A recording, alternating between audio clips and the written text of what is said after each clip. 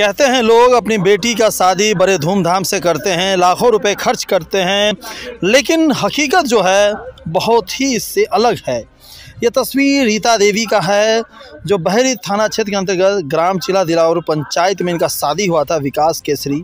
इनके पिता का नाम था जगदीश केसरी। वहीं रीता देवी मनीगाछी थाना के अंतर्गत ग्रामगंज के निवासी थे। उनके पिता का नाम उमेश केसरी था।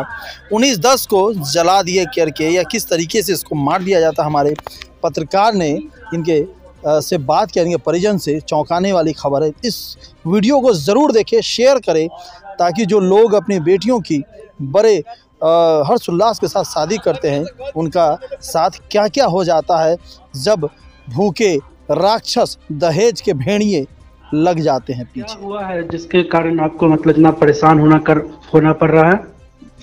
जी हमारे भतीजी थे दरभंगा जिला के बहेरी प्रखंड के चिल्हा दिलावरपुर गाँव में। जी। जी तो उसको जो है से उसके परिवार जो है से फैमिली मिलकर गला दहेज के लिए जो है उसको मार दिया गया। कि कब का घटना है ये? उन्नीस अक्टूबर का घटना है सर। 19 अक्टूबर का। अभी तक किसी का गिरफ्तारी हुआ है? जी अभी तीन ठो का गिरफ्तारी हुआ है लड़की का ससुर का जिसका नाम है जगदीश केसरी और उसके सास का जिसका नाम है उमदा देवी और उसकी दियारनी जो है बड़ी वाली उसका जो अनिता देवी नाम है। गिरफ्तारी के बाद फिर आप लोग को क्या परेशानी हो रही है? जिससे आपके परिवार को परेशानी झेलना पड़ रहा है? जी हम लोग का परेशानी ये है सर कि वो जो है लड़का लड़का का जो पिता है जगदीश केसरी जी। वो भागा है सर। अच्छा। जी। तो इस पे मतलब आपका ये आरोप है कि वो भागा कैसे? उस पर कोई पहुँच क्यों नहीं है? जी सर, जी जी। उसका है जो वो हमको बाहर से जैसे धमकी देता है। जो ऐसे ऐसे हमारे पास पैसा है, तुम हमारा कुछ उखाड़ नहीं सकते है। और जितना पावर आपको लगाना है, जो आप जो ऐसे लगा लो। या उसके पहुँच का आदमी सब बोलता है फ़ोन करके, जो आप केस सोलनामा कर लो, और उसके बाद जो पैसा लोगे, मंजूरी कर लो।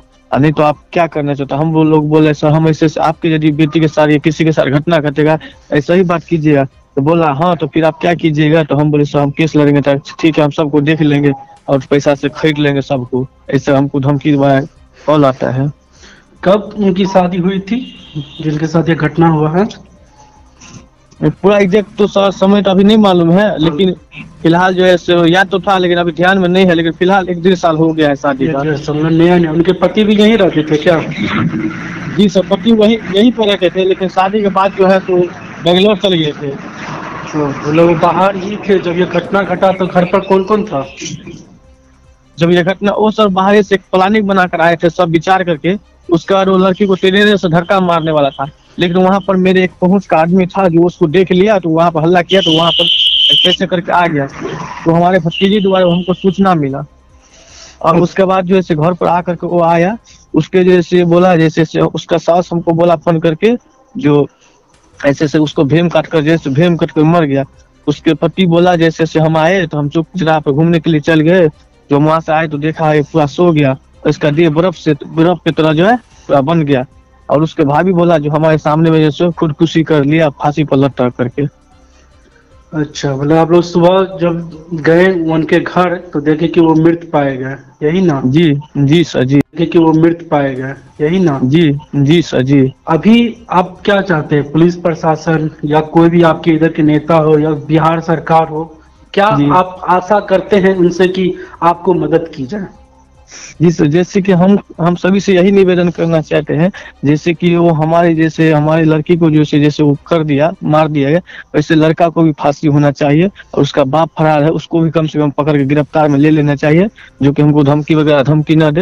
या कल होने जैसे वो लड़की के साथ किया कल होने उसका पिता के साथ ऐसा न करे। जी। हम्म। यही हमसे मांग है और सरकार जैसे बोलता है प्रधानमंत्री नारा लगाता है कि हमारे बेटी बेटी पढ़ाओ बेटी बचाओ ये नारा का क्या वैल्यू रह जाएगा? आप अपना एक परिचय बता दीजिए कि लड़की के आप क्या है अभी उनके पिता का क्या स्थिति है वो भी बता दीजिए। हम लड़की का दियादी चाचा हुआ जो हमारा नाम छोटू है और उसके बाद जैसे उसका पिता इंसाफ दिलाने के लिए दर दर भटकता है रोता रहता है जो कि लड़की का पिता का नाम उमेश शाह है। जी। गंज मनीगाछी प्रखंड का रहने वाला है दरभंगा जिला का। जी। और कुछ जो जानकारी देना चाहते हो अपने लोगों को पुलिस प्रशासन को ताकि सचेत हो सके कि हाँ हमको न्याय चाहिए। जी जैसे हम पूछते हैं सुनते हैं जो अभी तक तो, तो नहीं देखे हैं लेकिन सुने हैं लेकिन देखे तो नहीं है जैसे सुनते हैं जो हमारे दरभंगा जिला का जो एसपी है। जी। अभी नाम बाबू नाम है उसका वो बोलते हैं सुनते हैं बहुत एक्टिव रहता है जो कि हमारे मनीगाछी प्रखंड से जो है हम्म, ब्रह्मपुरा गाँव से एक मुकेश अंबानी को धमकी वगैरह कॉल गया था उसको। तो पकड़ के हिरासत में ले लिया। हाँ, उसको भेज दिया। वैसे ही हम सोच रहे हैं उसको भी उसका बाप फरार है उसको ऐसे पकड़ के हमको इंसाफ दिला। हमारी मिथिलांचल एक्सप्रेस की पूरी टीम कोशिश करेगी कि आपको इंसाफ ज़रूर मिले और बेटी बचाओ बेटी आंदोलन जो सरकार चलाती है तो इसका भी कुछ लिहाज रखा जाए। जी जी सर।